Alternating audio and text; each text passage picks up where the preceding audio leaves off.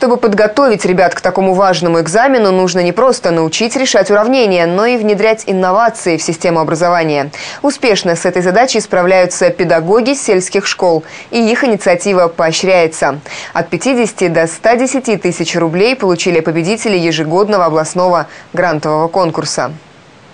Конкуренция была серьезная, о себе заявили 18 образовательных учреждений региона. Пять лучших сумели пробиться в финал. Члены жюри прежде всего оценивали творческий потенциал школы, использование современных технологий в обучении, перспективность предлагаемых проектов. Сейчас очень популярны стали э, проекты, которые касаются использования информационно-коммуникационных технологий. В сельской школе это тоже и актуально, и есть очень ново, даже в сравнении с городскими школами. Отрадно, что многие инновационные продукты носят духовно-нравственный и патриотический характер, отметили члены жюри. Например, уже три года на базе Ищекинской школы Рыльского района развивается добровольческое движение. Мы участвуем обязательно в акциях. У нас очень большая акция. Это «Живой батальон». Проходит 9 мая. Очень все ярко, знаете, трогательно. И действительно э, нужно обязательно детям показывать подвиг нашего народа, рассказывать о нем бесконечно и безустанно. По итогам конкурса победителем признана Глебовская школа Фатежского района. Второе место поделили Баничанская школа Льговского района и Ноздрачевская Курского.